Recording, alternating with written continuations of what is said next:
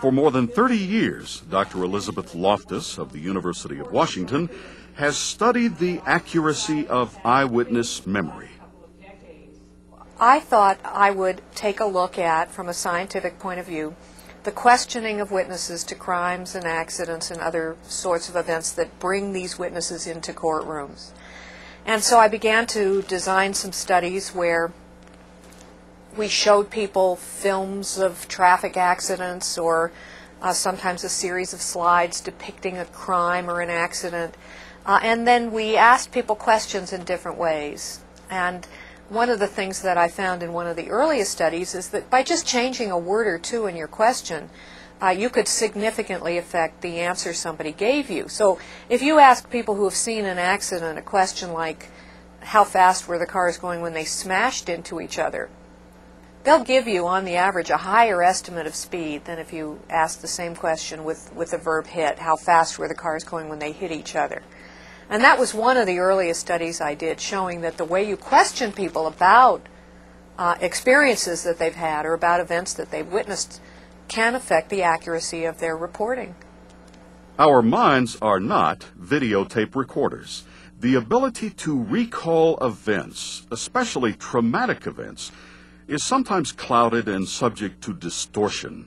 This is due in part to what is generally known as the misinformation effect. Uh, before we were even calling this the misinformation effect, I was doing studies in which I would show people, we'll call them witnesses, uh, an, an event, maybe a simulated crime or accident. I would ask them some leading questions. So maybe they saw a scene with a stop sign, and I would suggest to them in a leading question that it was a yield sign. And subsequently, people, many people would later on tell me I saw a yield sign. In other words, they adopted the misinformation and they claimed it for their own memory.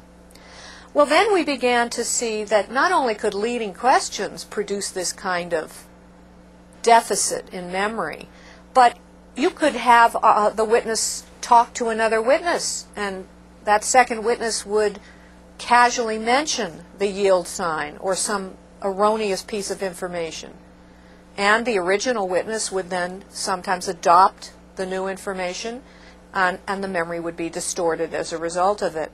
Dr. Gary Wells of Iowa State University was part of a national panel that wrote guidelines for dealing with eyewitnesses.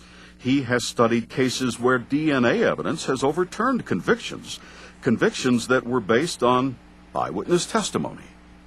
Most people think about DNA in terms of its incriminating properties, the, the way in which it can prove that uh, somebody committed a crime.